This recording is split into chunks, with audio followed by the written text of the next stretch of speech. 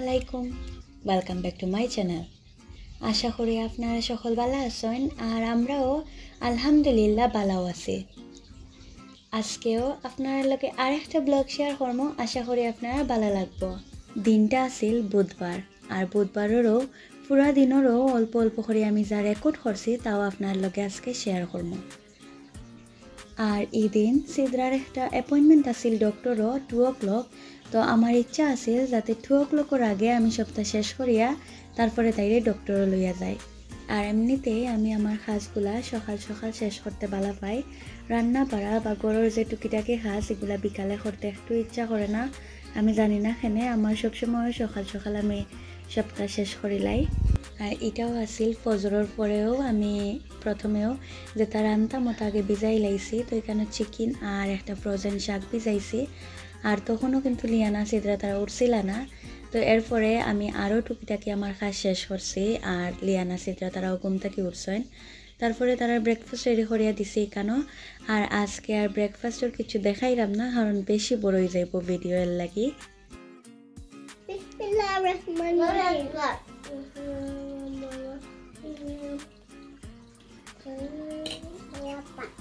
Bismillahirrahmanirrahim. ওকে ফিনিশে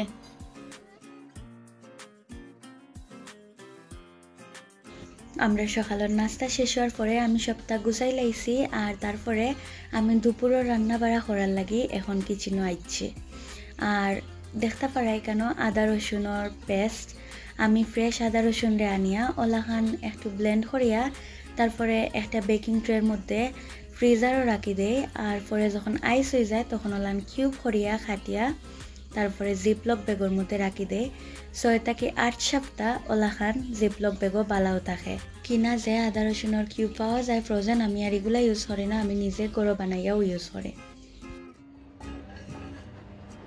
আর আজকে আমি আপনার লগে এখানেও একটা সফট চিকেনের রেসিপি শেয়ার করব আমি গ্যারান্টি দিয়ে আপনারা কইলাম আমার এই রেসিপি ফলো করিয়া যদি আপনারা বানাইন যারা সফট চিকেন খাইতা ভালো পাইন না।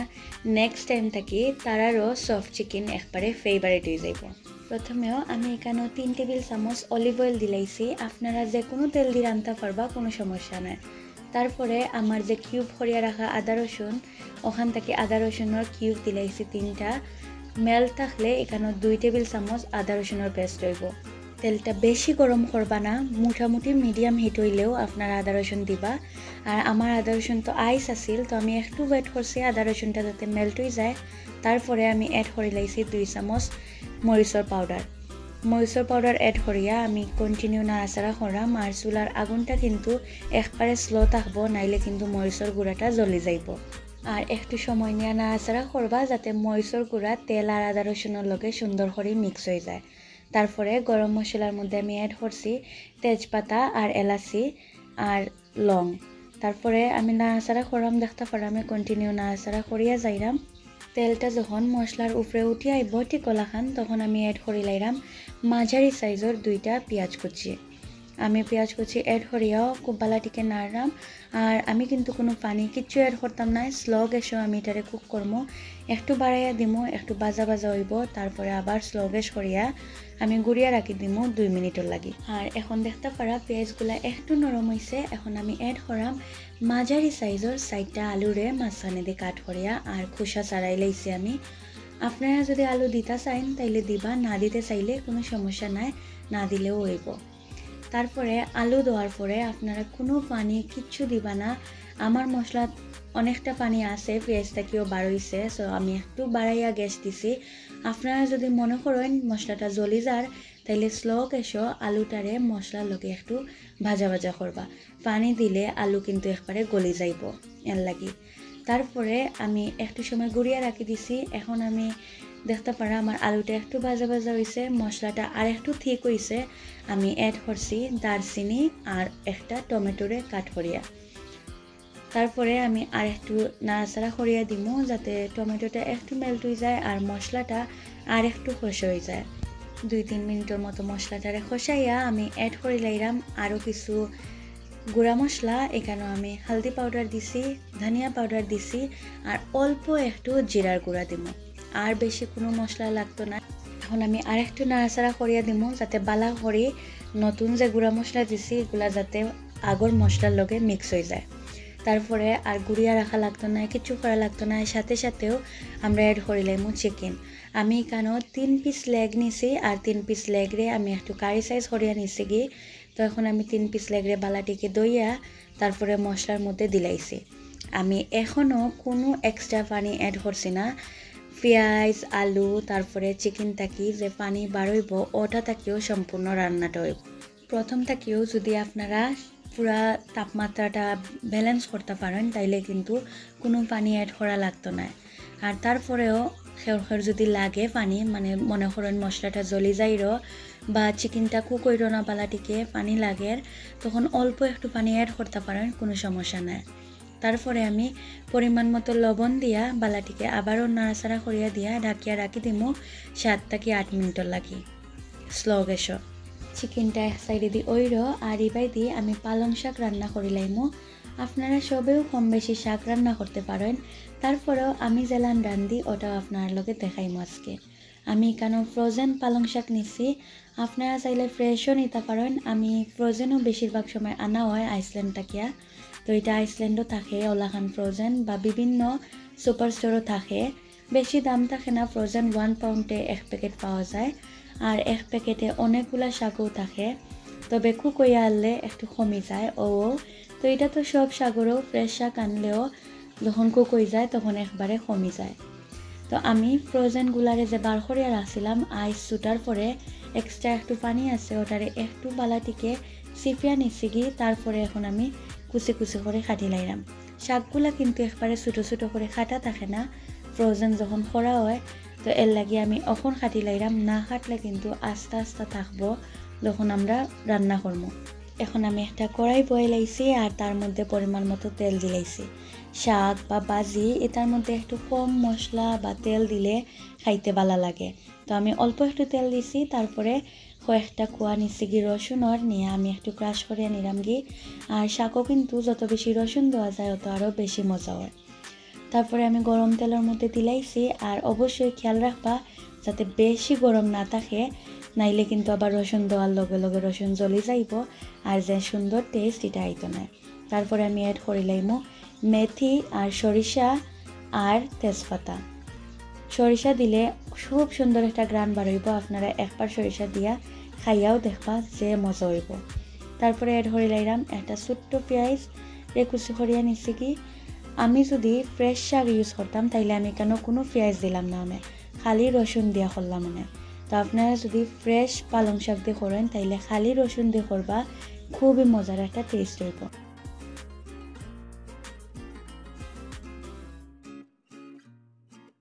তারপরে পরিমাণ মতো লবণ দিছি। তারপরে পেঁয়াজটারে একটু বাজা বাজা করিয়া নিরাম দিয়ে রসুনের লগে। আর খেয়াল রাখবা, তখন যাতে বেশি গরম না হয়। বেশি গরম হইলে মেথি, রসুন, এটা কিন্তু জ্বলি যাইব। আর টেস্টটা কিন্তু খুবই বিশ্রী হয়ে যাইব। তো আস্তে আস্তে স্লগে শলাখান একটু বাজা বাজা করে লাইবা। আর লবণটা আপনারা যারা নতুন রাঁধুনি তারা খুব কমাইয়া দিবা কারণ শাক ভাজি এটাত।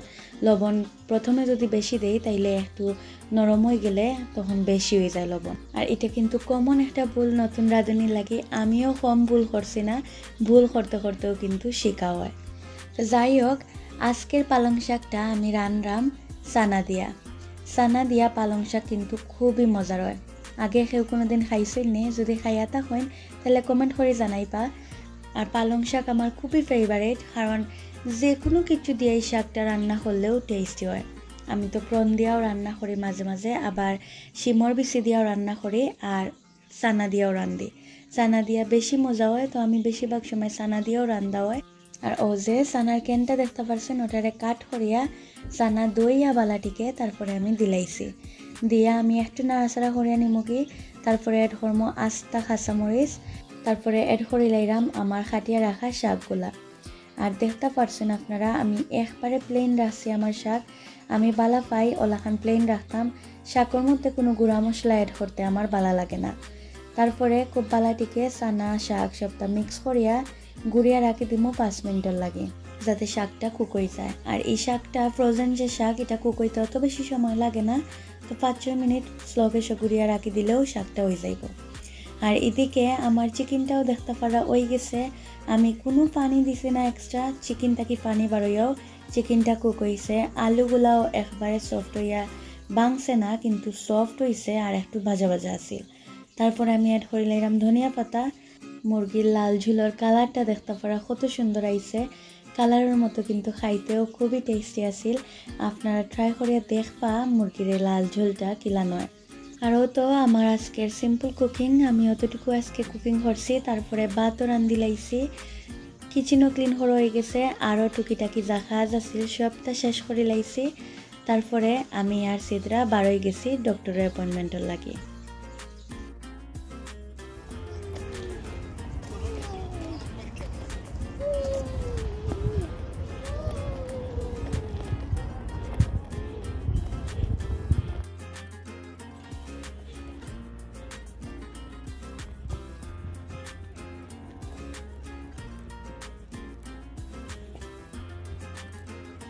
সিদ্রা তো খুবই খুশি।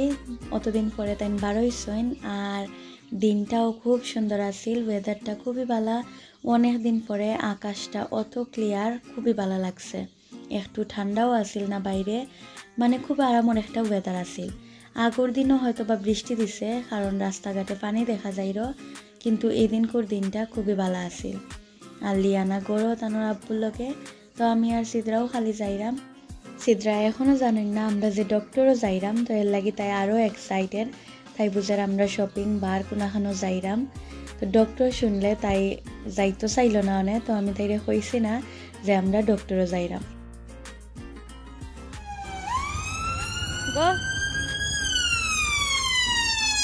তো জিপির সামনে যাওয়ার পরেও সিদ্রায় বুঝি লাইছে আমরা ডক্টর আইছি। তো তারপরেও আমি কইছি না এটা আমার অ্যাপয়েন্টমেন্ট তোমার কিচ্ছু নাই। তো এখন পর্যন্ত তাই বালা আছিল এক্সাইটেড আছিল। একটু পরেও দেখতে পারবা সিদ্রার অবস্থা কিতা হয়।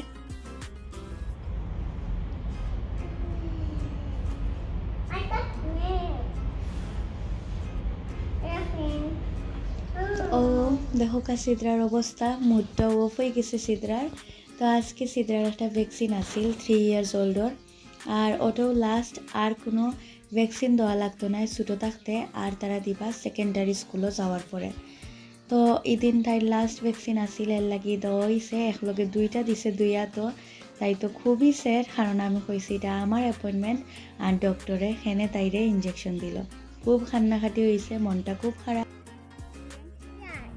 Sorry সিদ্রা No, you. মেজাজটা তো খুবই খারাপ সিদ্রার দেখতে পারা, কারণ যতবারও সিদ্রা ডক্টরও যায় নতবারও ভ্যাকসিনের লাগি যাওয়া হয় আর তাইরে ইঞ্জেকশন দিয়া দিলায় তো এর লাগি তাইর একটা ডর আর হেইটনেস আইছে ডক্টরের প্রতি আর সিদ্রার আসলে খুব একটা নর্মাল অ্যাপয়েন্টমেন্টও আমি তাইরে লইয়া গেছি না। বেশিরভাগ সময়ও আমরা ভ্যাকসিনও লাগি গেছি, তো এর লাগি ওই অবস্থা যাই হোক বালাইয়া কোনো রকম করে লইয়া যাও ওইর আর করে যাওয়ার পথে একটা সুপার স্টোরেও গেছিলাম, অল্প একটু টুকিটাকি শপিং করলাম। সিদ্রার যাতে মনটা একটু ভালো হয়ে যায়, তারও চেষ্টা। তো যাই হোক আমার ভিডিও আজকে অতটুকু। আশা করি আপনারা ভালো লাগছে। ভালো লাগলে প্লিজ আমার ভিডিওটাত একটা লাইক দিতে বলবা না। একটু কষ্ট করে একটা লাইক দিলাইবা আর আমারে আর আমার ফ্যামিলিরে আপনারা দোয়াত মনে রাখবা। আমিও আপনারা সবর লাগি দোয়া করব আজকের মতনও শেষ করাম আল্লাহ হাফেজ।